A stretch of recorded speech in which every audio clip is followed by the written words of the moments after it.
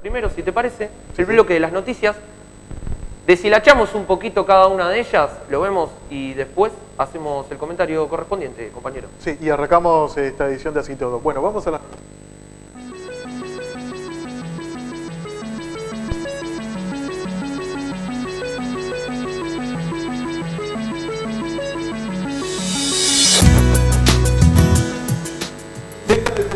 Un ramal de la línea 79. Se trata del ramal que iba desde Rafael Calzada a Constitución. La empresa San Vicente interrumpió el servicio de más de 50 años en la región, alegando que producía pérdidas económicas por los aumentos de combustibles y la quita de subsidios. Movilización a la Municipalidad de San Vicente. Cerca de 400 personas se movilizaron a, a la Municipalidad del partido para pedir asistencia luego del fuerte temporal que azotó la región el pasado fin de semana, alegando que la gestión de Mauricio Gómez no salió a la calle a ver cómo quedaron los barrios. La canasta de alimentos sufrió aumento de hasta un 123,7%. Los productos alimenticios verifican aumentos superiores al promedio de los demás bienes y servicios de la economía en los últimos 12 meses. Lo reveló un informe del Observatorio de Políticas Públicas de la Universidad Nacional de Avellaneda. Estela de Carlotto en Almirante Brown eh, va a ser en el marco de una actividad por la identidad organizada por la Secretaría de Desarrollo, Seguridad Social y Derechos Humanos del municipio, que se realizará mañana a las 10 en la Casa de la Cultura ubicada en la localidad de Adrogué. Bien, entonces ahí estaban las noticias más importantes para los Jodas y todo, como hacemos programa a programa. Puntos importantes, cosas importantes que van pasando a nivel municipal, a nivel regional, como bueno la visita de Estela de Carlotto, eh, es, importante eh, remarcarlo porque Estela, más allá de todo lo que representa a nivel defensa de los derechos humanos, desaparecidos, etcétera, políticamente también tiene un peso y bueno, va a estar en Almirante Brown, eh, así que lo, lo destacamos eso. Sí, ¿cómo no? No es la primera vez que llega Almirante Brown, estuvo hace poco también, creo que fue el año anterior en el lanzamiento de la primera edición de la Feria del Libro de, en, la- en el centro de la ciudad de Almirante Brown, en Adrogué. Y la presencia de Estela Carlotto se va a dar mañana, miércoles 3 de octubre, a las 10 y media, en la Casa Municipal de la Cultura, en el Salón Soldi. Una importante jornada que, bueno, yo me imagino que va a haber mucha gente, referente de entidades de bien público, agrupaciones vecinales y agrupaciones políticas también, recordemos. Tiene un peso político, como dijiste vos recién. Exactamente. Eh, bueno, otro de los temas importantes, deja de funcionar un ramal de la línea 79, una línea bastante emblemática, ¿sí? Eh, de aquí de la zona sur. Eh, la empresa San Vicente interrumpió el servicio de más de 50 años, Seba, en la región, ¿sí? El ramal que iba desde Calzada justamente a Constitución. Eh, es una de las pérdidas, si se quiere, en, en- en estos tiempos que estamos viviendo, donde los las diferentes empresas, las diferentes organizaciones pierden recursos. Bueno, un ramal de la línea 79 eh, deja de funcionar. Sí, empresa San Vicente que es controlada por la DOTA, que es esta empresa que, que, bueno, que está trabajando con, este, con la línea de ómnibus, no solamente en el conurbano, sino también en Capital Federal.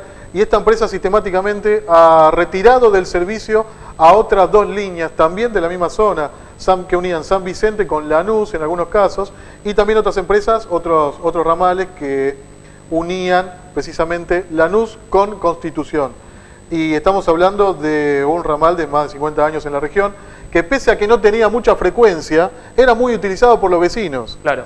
Hay que tener en cuenta esto, ¿no? A ver, la empresa empieza a generar, como todas las empresas, que argumentan recortes en esta época de crisis económica y, y bueno, las empresas de ómnibus también hacen lo propio y recortan este tipo de ramales, que parece que no, pero lo utiliza muchísima gente. Sí, sí, totalmente, porque bueno, eh, los colectivos en los barrios empiezan a hacer, a- a- empiezan a tener un rol muy importante, eh, porque hay barrios en los cuales no llega cualquier tipo de transporte público, la estación de los trenes, eh, las estaciones principales están muy lejos y son importantísimos para el funcionamiento eh, a nivel social, ¿no? Los colectivos, así que bueno, realmente una pena, también por lo emblemático que era este ramal, eh, por lo que es la línea 79 aquí en la zona sur.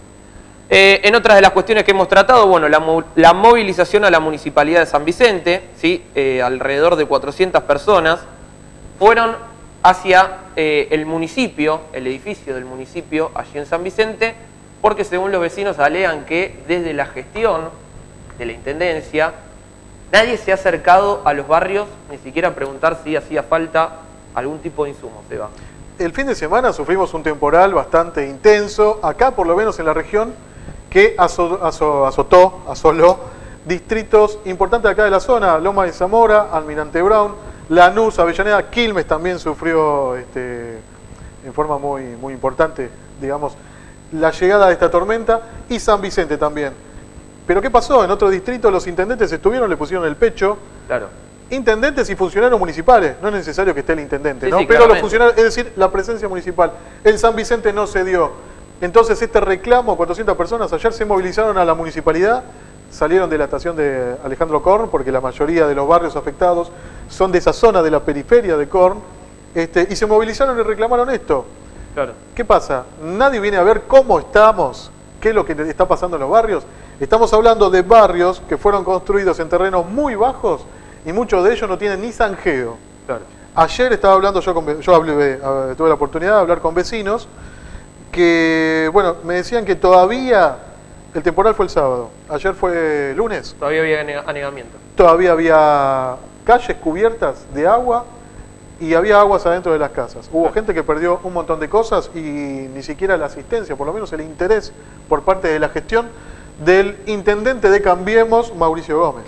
Por último, y ya para cerrar el bloque de noticias, porque tenemos un montón de información y se nos viene encima el segundo bloque, ya tenemos una entrevista telefónica preparada. Eh, vamos a estar cerrando este bloque con el tema de la canasta de alimentos, Seba, que sufrió nuevamente aumentos la canasta alimenticia. Eh, llegan hasta un 123,7%, ¿sí? Eh, bueno, verifican aumentos superiores al promedio de los demás bienes y servicios de la economía en los últimos 12 meses. Complicadísimo el tema de salir a hacer las compras regularmente para cualquier familia. Y este es un estudio que realiza el Observatorio de Ciencias Económicas de la Universidad Nacional de Avellaneda. Regularmente nos presentan estos, digamos, esta realidad económica que muchas veces duele, y duele sobre todo en el bolsillo. Los precios en comparación a 12 meses atrás. Estamos hablando de la harina, 123%. Sí. Los fideos, casi el 65%, el arroz el 55%, los huevos el 54%, aceite 59% y el pan francés, pan francés 47% aumentó. Tremendo. Pan francés importante para los sándwiches de... Que no es importado, por aunque, aunque se llame francés. Es francés, no, pero es, importante. No, porque digo, por el precio, digo, capaz que la gente piensa que lo traen de afuera y está, hacemos acá todavía, ¿no? no, tal cual. Claro. Bueno, compañero, eh, llegamos al final, llegamos al final. Si paremos acá. Sí, porque se empieza a desbandar. Si final del primer bloque del programa número 13 de Así Todo Televisión. En el próximo bloque vamos a tener una entrevista telefónica ¿sí? con un representante importante de la, del distrito de Lomas de Zamora. Así que, como siempre les decimos, los invitamos a quedarse, Seba, a seguir compartiendo. Sí, por supuesto. Pueden seguirnos. Ahora estamos saliendo en vivo por telecreativa.com y por nuestra, nuestro grupo de Facebook que es Así Todo Multimedio. Exactamente, www.facebook.com barra Así Todo Multimedio, ahí nos están pudiendo seguir en vivo y en nuestras otras dos redes sociales, en Twitter y en Instagram, que vamos subiendo también contenido concerniente al programa. Pero bueno, la cortamos acá, así nos vamos rápidamente al corte, que en el próximo bloque tenemos un montón más de información para seguir compartiendo. Quédate ahí.